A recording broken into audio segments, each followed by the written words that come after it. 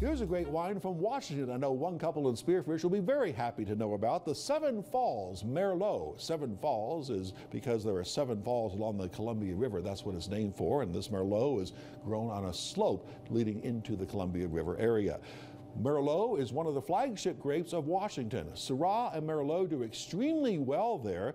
And there's some good Cabs and Malbecs as well. But for some reason, the Merlot seems to really shine in Washington, and some of the better Merlots that are not only inexpensive but also of high quality do come from Washington State, like the Seven Falls. You're going to get a very smooth, fruit forward wine with some complexity as well. Smoothness, that's a good quality for these Washington State Merlots. Try the Seven Falls Merlot here at the Spearfish Creek Wine Bar today.